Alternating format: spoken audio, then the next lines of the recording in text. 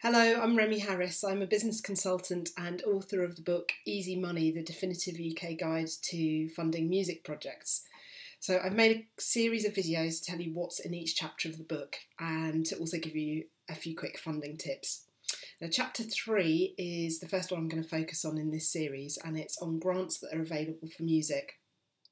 First of all, a quick summary of what a grant is. A grant is basically money that you don't have to repay. It's brilliant, right?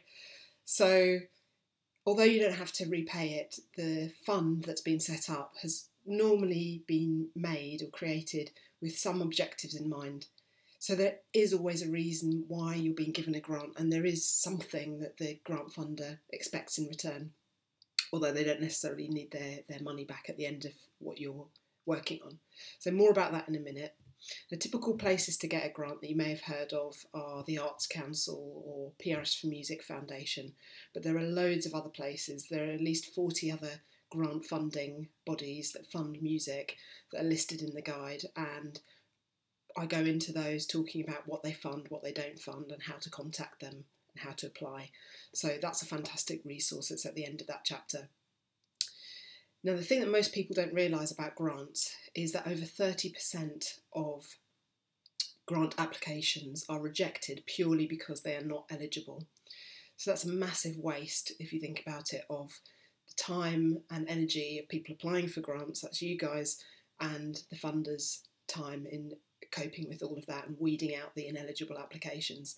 And one of the things I talk a lot about in the chapter is how to make sure that you're eligible for the funds that you're applying for and make sure you're not in that 30% that goes straight in the bin.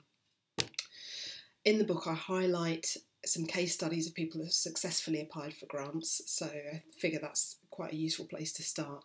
And I also talk to quite a few grant funders about what happens when they process the applications, what they look for, and their tips um, so hopefully that will be really useful to you.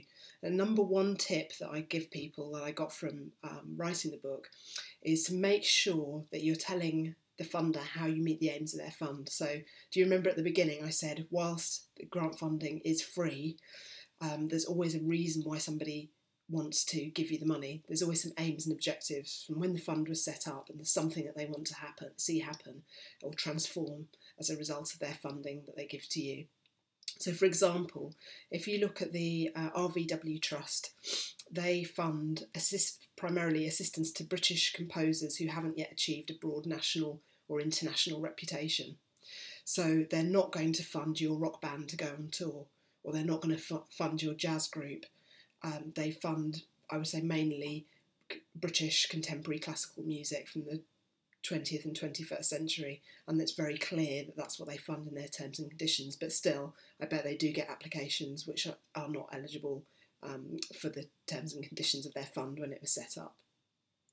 So that's my number one tip. But there is other money out there, and it's all about funding, finding the right funder who has the right aims and objectives. If you focus on that to start off with and make sure that you're telling them clearly how you can meet their objectives brilliantly, you'll be off to a really great start.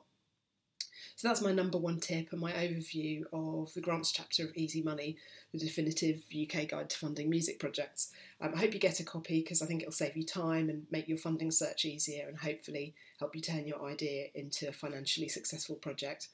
You can get the book and also purchase the individual chapter on grant funding from musictank.co.uk and you can follow me on Twitter at Remi McHarris. Bye for now.